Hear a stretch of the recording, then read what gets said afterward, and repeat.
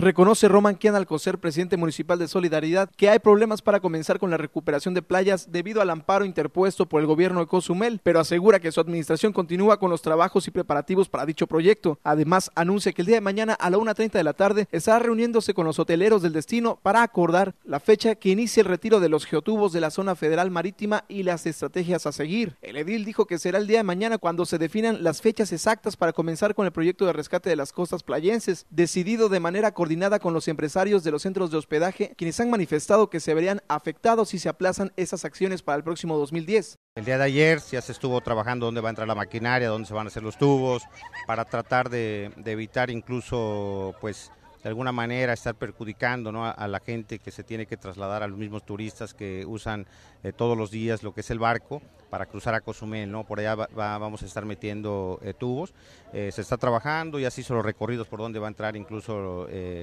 la maquinaria que va a estar trabajando. En el caso de Solidaridad, pues se continúan los trabajos, se continúan los preparativos. El día de mañana a la 1.30 de la tarde se tendrá también una reunión con todos los hoteleros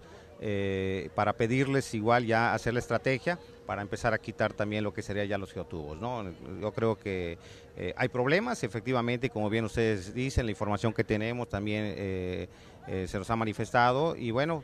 pues yo creo que próximamente tendremos pues pues más noticias en las cuales eh, de alguna manera creo que se va a ver beneficiada Playa del Carmen. ¿no? Esto lo declaró en el marco de la ceremonia protocolaria de instalación de la primera piedra de una nueva aula virtual de capacitación para la Dirección de Seguridad Pública Municipal con una inversión de 645.226 pesos, recursos provenientes del subsidio para la Seguridad Pública Municipal, Subsemun, y que contempla una duración de principio a fin de la obra de un solo mes. Por su parte, el comandante Rodolfo El Ángel Campos, titular general de la Policía Preventiva del municipio, explicó que este sistema permitirá dar capacitación a través de conferencias relacionadas con temas, en este caso de seguridad pública. El inmueble tendrá una capacidad para 40 personas, un proyector, cañón, pantalla plana y equipos de cómputo.